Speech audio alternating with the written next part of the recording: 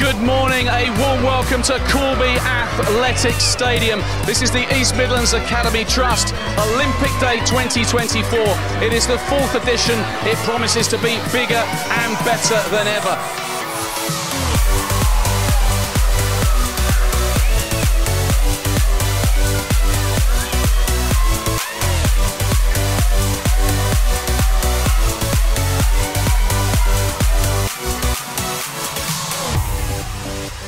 This is a fabulous day. Really is fabulous for all the schools, for the kids, you know, to come here at Corby, the club. It's just so inspiring for the kids. It's wonderful.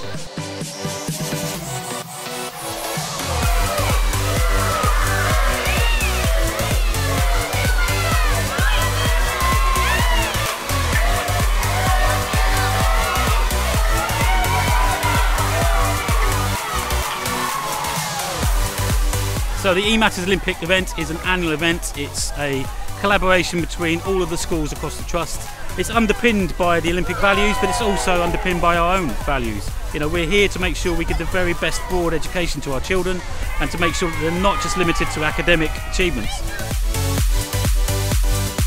and we were absolutely delighted to be invited to the event um, by Josh and the team from uh, EMAT.